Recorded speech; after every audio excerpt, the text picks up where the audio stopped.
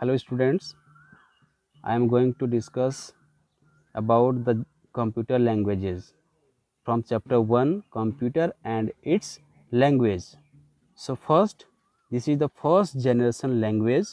The first generation of language made use of machine language.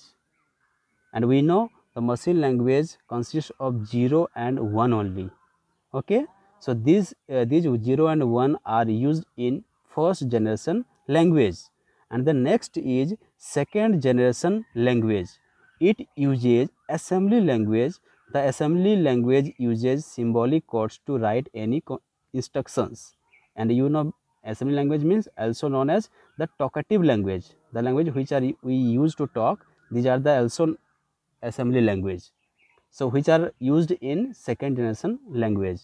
Next is third generation language in this generation high level language like c c++ java qbasic are used. So in third generation we used programming languages like c c++ java qbasic etc. Okay? And the next is fourth generation language. They are modern high level languages. In fourth generation they are modern high level languages so one of the best example of modern high level languages are report builder. Report builder is one of the example. And the next is language processor. Students you know computer cannot un understand our own language. Computer can only understand its own language that is machine language machine language. So uh, how computer works? Because computer cannot understand our language neither nor any language because computer can only understand the binary number that is also machine, known as machine language. So language processor converts any kind of language into machine language and then further machine language to any other languages or vice versa. Okay? So these uh, language processor work for computer to translate any language to machine language or machine language to some other languages. So language processor also categorized into three types. One is assembler.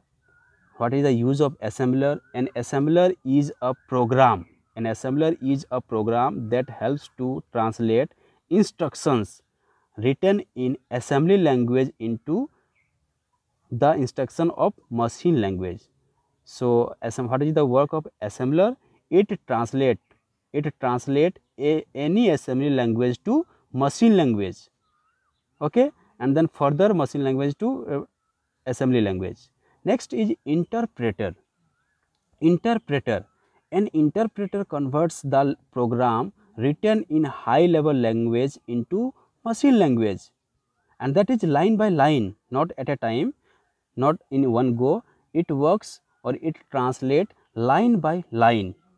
So, this is uh, interpreter which converts any programming language to machine language line by line. Okay? And the next is compiler. Compiler. A compiler also converts the any programming language to machine language, but it in one go. It works at a time. It translate all the program in one go, but interpreter works and it translate line by line. This is the difference between interpreter and compiler also. Okay.